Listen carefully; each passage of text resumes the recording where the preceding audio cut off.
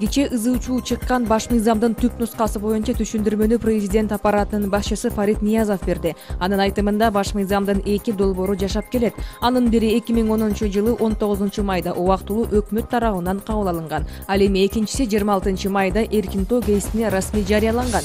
Алар архивде сакталуу. Бирок эки долбоорду бир текстти айкалыштырган бирдиктүү текст жок. Андыктан гезитке расмий жарыяланган баш мыйзамдын тексти түп нуска болуп эсептелинет. Ал эми ага убактылуу катчылыгы дагы өкмөт аппаратынын дагы башчысы кол койгон эмес. Андан улам конституцияны алмаштырып коюшкан деген имиштер келип чыгууда он күндө анталиядан тогуз кыргызстандык кыз келиндер депортацияланды. Аларга анталиянын мармарис аймагында суйкулук кылган деген айып тагылды. Он биринчи октябрда мармаристеги мейманкананы текшерүү маалында жыйырма бир жыйырма эки жаштагы эки кыргызстандык кыз кармалгандыгын түрк басылмалары жазып чыккан деп билдирет азаттык сайты. Он үчүнчү октябрда ошол эле райондогу мейманканадан беш кыргыз кыз келин полиция колуна түшкөн. Кыздарды жумуштап берем деп алдоо жолу менен чакырып келип сойкулукка мажбурлаган конок үйүнүн кожойкеси менен кызматкери камакка алынган. Кыргызстандык кыз келиндер болсо депортацияланган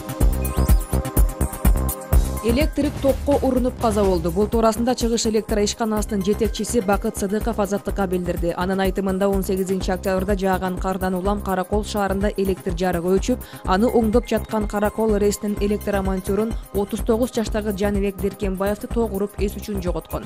Ага жеринен биринчи медициналык жардам көрсөтүлүп ооруканага жеткирилген. Бирок деркенбаев ооруканада каза болуп калган.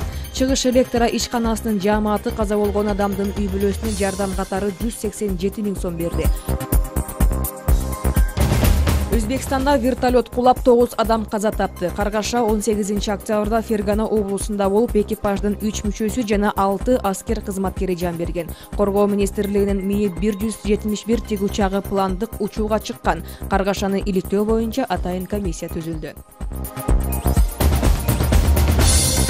дубайда жеке ишкер унаа номерин тогуз миллион долларга сатып алды. Бул өлкөдөгү рекорддук баа болуп эсептелинет онлайн аукциондо д беш номерин эл аралык курулуш компанияларын жетектеген балвиндер сахини сатып алган бул индиялык жеке ишкер былтыр дагы номерди чоң акчага энчилеген болчу.